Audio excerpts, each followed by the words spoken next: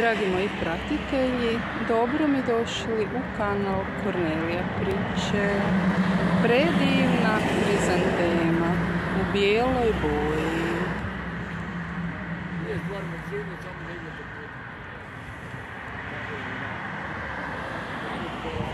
Nježni cvjetovi, prekrasne latice i žute sredine cvijeta.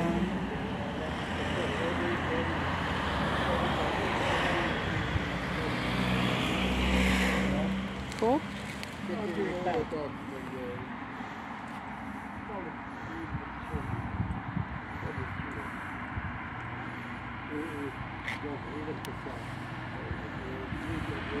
Do sljedećeg susreta. Bot.